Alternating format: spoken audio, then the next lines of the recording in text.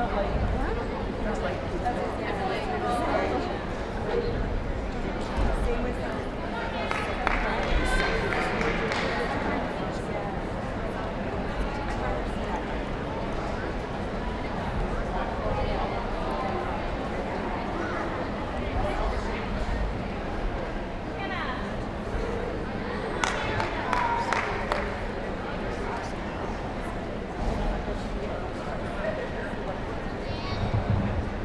Next up is Nell from